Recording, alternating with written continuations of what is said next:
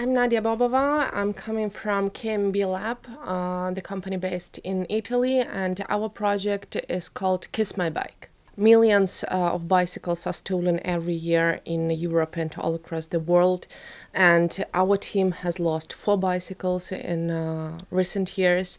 Uh, so we came up with the solution which is Kiss My Bike, is an IoT system which is installed inside the bicycle. And in case of theft, we track its position and we know always where our, our bicycles are. I start with, with the parking of my bicycle. So after I have a ride with the bicycle, I park it. Uh, and uh, go shopping, for instance. Uh, if my bicycle is moved while I'm not close to the bicycle, I will receive a notification through the app, through the dedicated Kiss My Bike app, that my bicycle is moved unexpectedly. So I have to do something about that.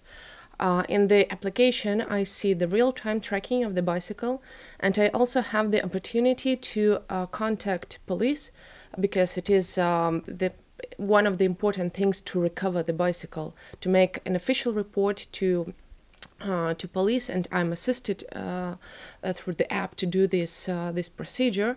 Uh, so, with the help of a policeman, we can know the exact position of the bicycle and can recover it safely. So, Kiss My Bike uh, is an IoT system which is which includes an electronic device, a dedicated app, and cloud infrastructure.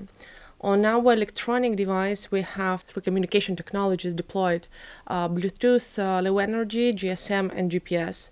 So we connect uh, to the user's app through, um, through Bluetooth and, uh, and the cloud, uh, and all the tracking is made through GSM and GPS doing startups uh, doing startup is, uh, is quite tough and we're doing it for a couple of years and uh, it is always a good thing to be helped to be assisted uh, to have new ideas because um, you never always it is uh, happens often that uh, you're concerned with with something and you have these recurrent ideas and you cannot develop nothing new. You are just uh, you're too conservative uh, with your ideas, and when you have uh, external people, external coach that that give you some inputs, it is also it is always a good thing for for a business.